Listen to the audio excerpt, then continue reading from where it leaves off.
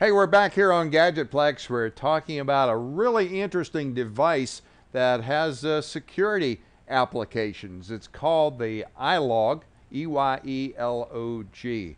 And uh, Phil, what we just started to get into it. I had to break from that segment here because I want to make sure that we looked at all the all the upside and uh, things that the characteristics of this device.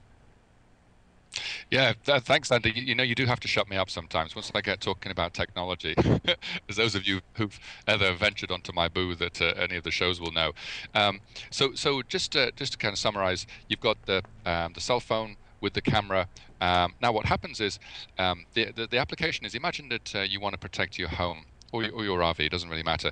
Um, it has a little stand, so you can stand it on the side, looking at maybe the doorway or the hallway um, or you can mount it on the wall. It little, looks a little bit like a um, uh, temperature sensor or humidity sensor or something.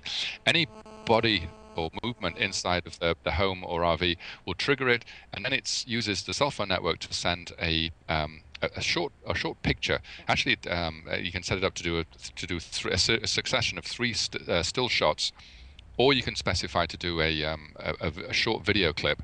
And the coolest thing about that is it sends it directly to your cell phone. So there's none of this worrying about, oh, it's going to go to a, um, you know, a third-party company, and if it's a false alarm, they're going to charge me and all that sort of stuff. It comes to your cell phone. You could be at a restaurant down the road, or you could be in, in Florida, you know, thousands of miles away, and you get to see within 30 seconds, 45 seconds, um, who's inside the house, what it is, with a picture, and can then make a determination as to what to do about that. Yeah. And I think the other thing that's uh, particularly interesting is that uh, since it comes to you as a text, uh, you you may have that uh, you know in your pocket, your cell phone's uh, in, in the pocket and so forth, or uh, or you might be dozing or have it on the bedstead or something like that, and you'll hear that text come in, and so you're alerted no matter where you are.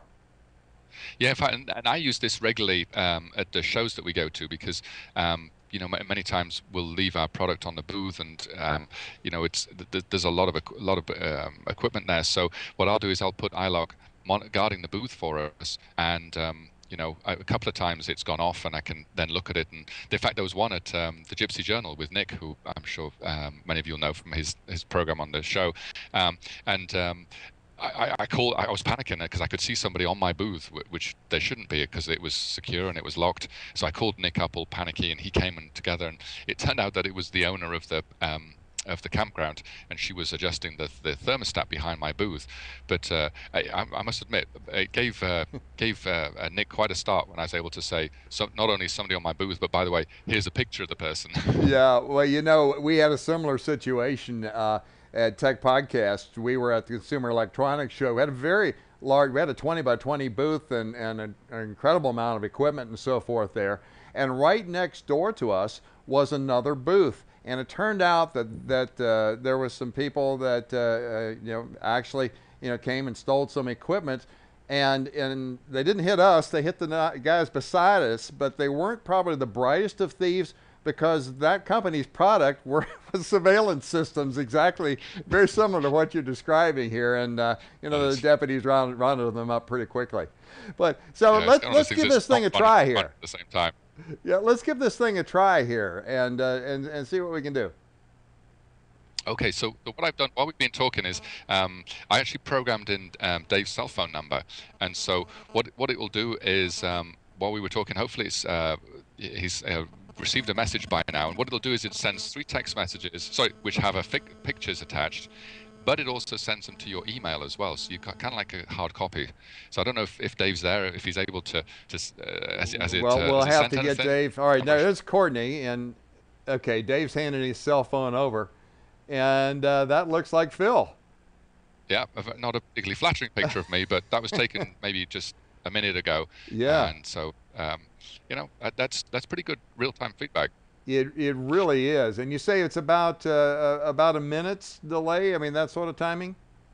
Yeah, it, it takes about a minute because it ha- it has to compress the image and then send it over the cell phone network. So um, it, it's about a minute. But it, you can also put it into video mode. I, I don't know if Courtney was able to load that video that I um, that I sent. Yeah, a part of it is trying to get it out out of the cell phone and into into our equipment uh, here. But uh, okay. is, is, the video is I assume is is a, is one or two frames per second, so it's not going to be a full motion type uh, uh, image, right? No, that's right. It, it's it, it's not bad, but it's maybe like four or five frames a second. Um, the the challenge seems to be viewing it on your cell phone. So um, I haven't been able to um, actually watch the video on my iPhone. I, I don't think there's the, the correct um, codec for it, but it will send it also to your emails. So so it tells you that something's happened, and then you know you go to your uh, computer and have a look and check out the, the, the video. The, the, video is actually quite good from a surveillance point of view. Okay, there we go. There this, it is. This is actually, I was in a hotel in, in Houston. This was our booth, um, and we were parked down the road. And that kind of freaked me out because it was like 10 o'clock at night, and the, the cell phone went off, and I was able to watch this.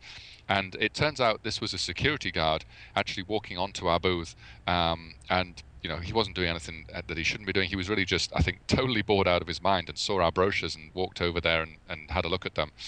Um, but once I got over the shock of it going off, um, it was actually nice to have that peace of mind yeah. to know that um, I, I, was in touch in, in some way with with, uh, with with the booth, or as somebody might find with their house. Yeah. Now, do you have to have a separate uh, uh, cell account? I mean, you said this is on AT and T or T-Mobile.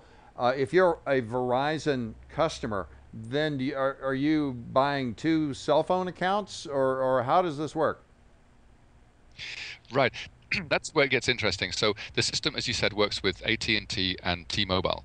So if you have a, um, a plan with them, then you just get an additional phone, pop the SIM out, and put it into the um, into the EyeLog. That's the simplest way of using it.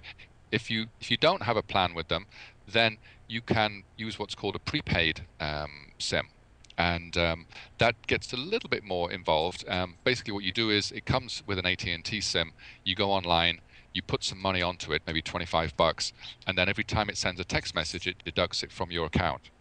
Okay, so uh, so it's not like you're uh, signed up for uh, $60 with one uh, carrier and then another $60 just to have this one device send messages occasionally. That's right. I mean, the nice thing with the prepaid is you don't have a plan. So if you turn off the the uh, the EyeLog, then you're not paying for it because it's not sending any text messages.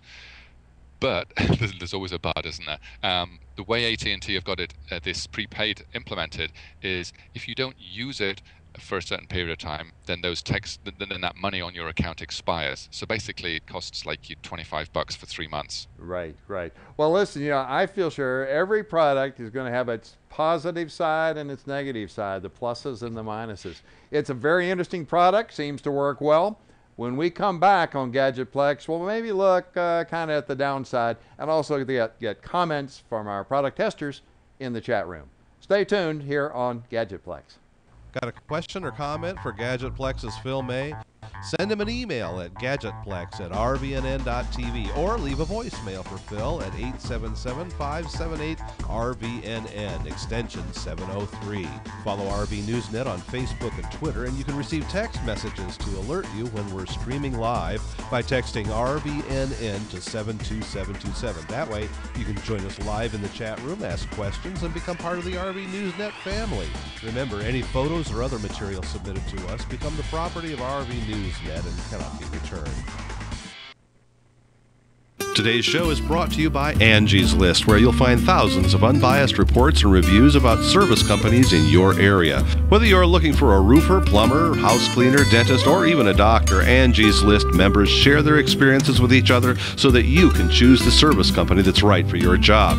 Companies can't pay to be on Angie's List, and the reviews come from people just like you who have had experience with the companies mentioned. To find out more, go to rvnn.tv and click on the Angie's List ad.